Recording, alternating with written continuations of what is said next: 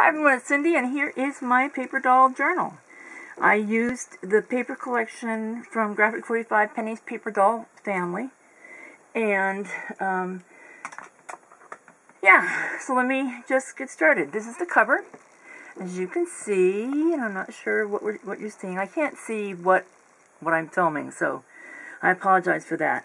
Um, but anyway, you know, I made a little porch here from my Victorian house um, and used some cotton crochet trim for the gingerbread on my house. And these are Graphic 45 papers here, of course, and some um, of the stickers I used to give it a little bit of dimension and to cover up things that didn't necessarily add to my idea. Um, so, yeah, that's that. Um, I did make dimension because I wanted the roof to stand out a bit. And you see I have a um, seam binding tie. On the spine I have this terrific fabric that I bought uh, at least 10 years ago um, with another project in mind that never happened. Um, and so, yeah. These are the little buttons that I purchased and got yesterday, and some more buttons that I fit in there with them to, to um, decorate the spine a little bit of lace back here to, on the edge of the fabric, and just used um, cardstock from the patterns and solids to, for the rest of the cover. So, inside, I'm just going to go real quickly through the non-paper doll pages um, because they're really just very basic and I don't want this video to last forever. Um, I did make pockets on the inside covers on both front and back. Um, my idea of putting some wainscoting in, in my little house. There are lots of tags. Um, this one I made with some of the fabric that I used for the spine. I've used this in a few places throughout the book. This one is just a small one with patterned paper. And a large one with patterned paper. This is some lace that I bought online, I think on, on eBay. I also use papers from the graphic or from the Recollections um, English Cottage yeah, is what it's called?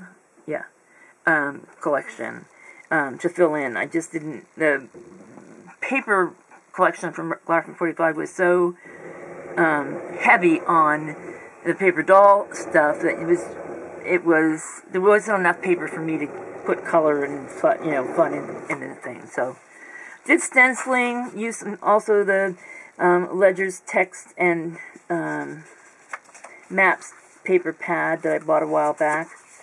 More of that paper from Recollections.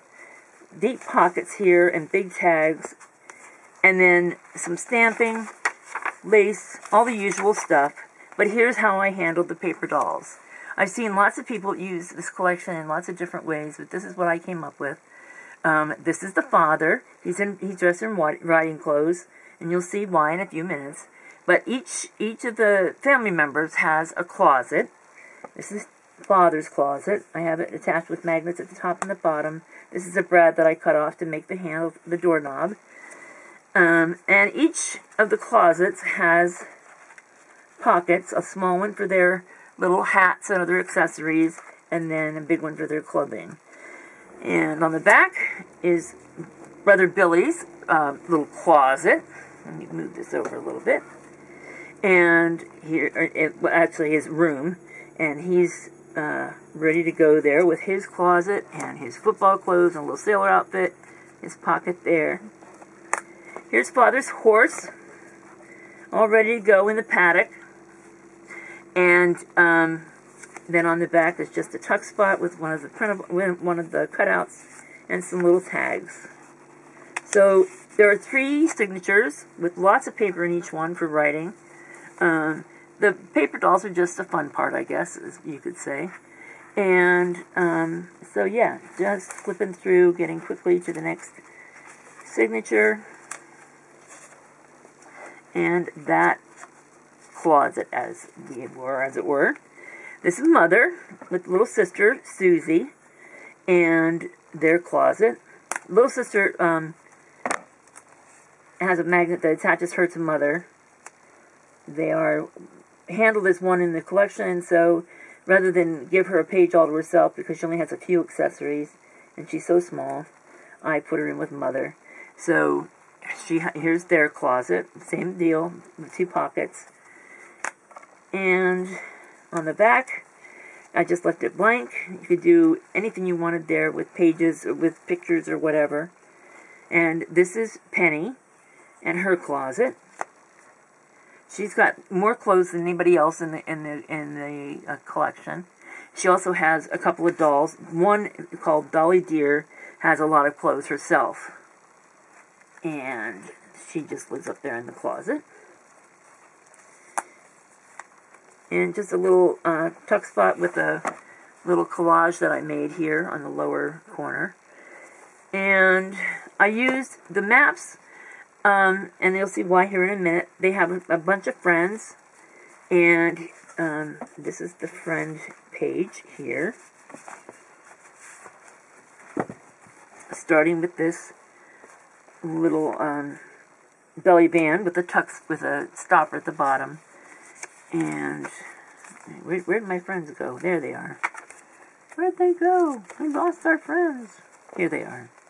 Excuse me, forget that. Wait, I'm lost. There they are. And it's another tuck spot.